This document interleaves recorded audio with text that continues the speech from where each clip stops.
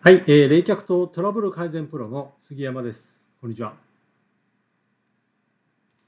はい、えー、今日はですね、えー、改めて、えー、冷却灯の仕組みについて、えー、お話をしたいと思います。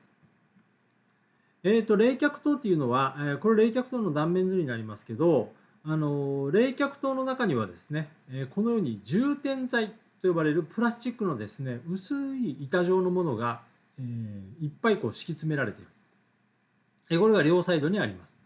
えそして、え上にはあ冷却ファンといって、え大きなですね、え羽がついてます。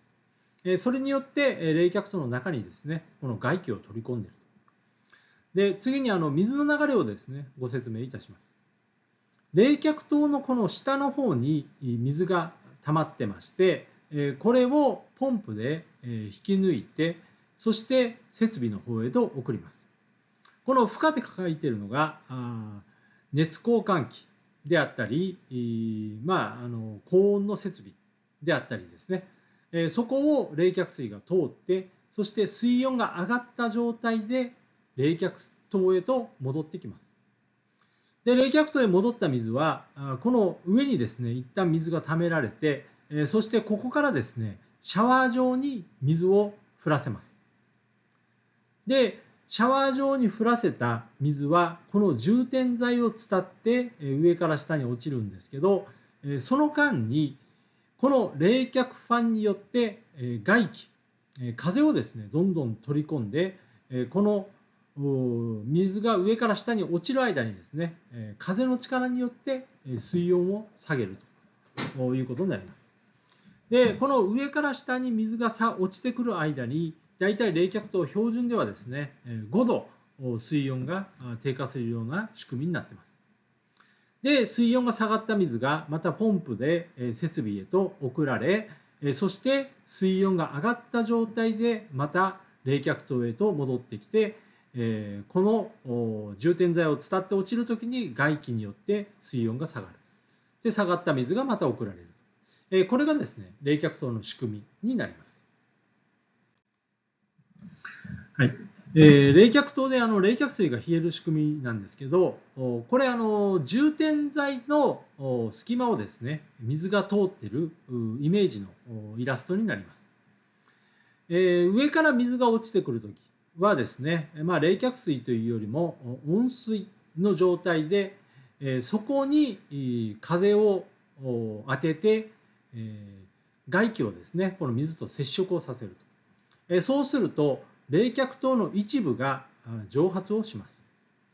でこのように蒸発をした時に水が気化する際に熱が奪われそして冷却水が冷えるという仕組みになります。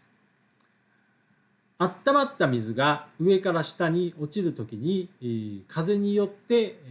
冷やされそして水の一部が蒸発することで冷却水が冷えるとこれをですね気化熱と呼びます。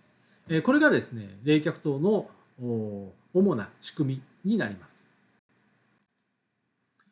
続いて、外気湿球温度。冷却灯はですね、外気の温度とですね、密接な関係があります。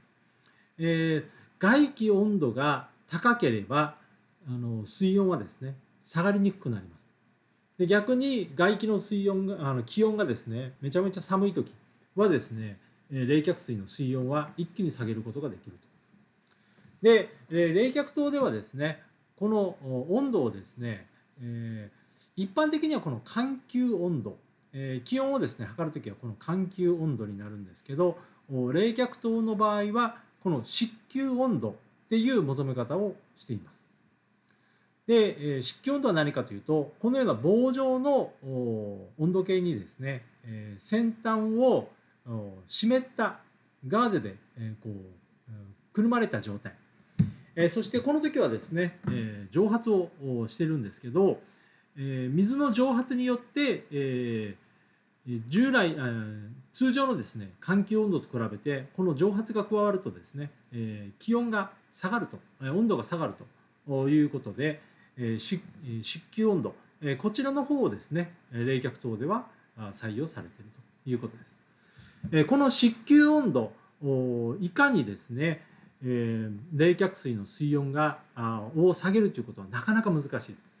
え、大体私たち九州ではですねこの夏場のこの湿球温度はですね27度から28度近くあります。で、えー、その28度の風でどんなにですね冷やそうと思ってもそれ以下にはですね下がらないということになります。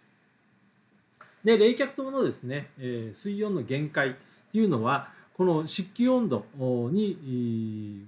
とこう、まあ、比例しますんで、えこの温度以下には下がらないということをですねしっかりご認識いただくことが重要かと思います。はい、えー今日はですね、改めて冷却灯の仕組みについてお話をさせていただきました。私どもはですね、こういった冷却灯の仕組みと、まあ、トラブルをですね、防止するために様々なまあ、技術をですね、こう磨いておりますので、ぜひお困りの方はですね、お問い合わせいただければと思います。はい、えー、本日は以上です。ご視聴いただきありがとうございました。